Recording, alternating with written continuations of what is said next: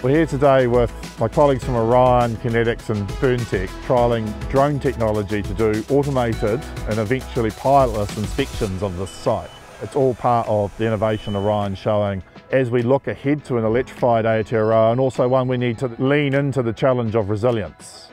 It uses smart technology, so when it flies, we actually tell it to fly to a known location, a waypoint, and those could be multiple so we can navigate our way around objects so we don't put the drone or our network at risk. We can live stream that back to our control room and that will allow us to actually see a status real time, which will save us a huge amount of time later. Technology like this will really help us do what is core to Orion, which is safe, resilient, reliable networks enabling us to find faults, really difficult to find faults earlier and fix them before they cause outages and send the operator to the location as opposed to them having to find the location. So all around, it's a great win-win. Traditionally, you would need someone to go out to site to have an actual visual check. Now, having the drone being able to be remotely operated, someone can be sitting in the office and confirm whether the switch is physically open or closed.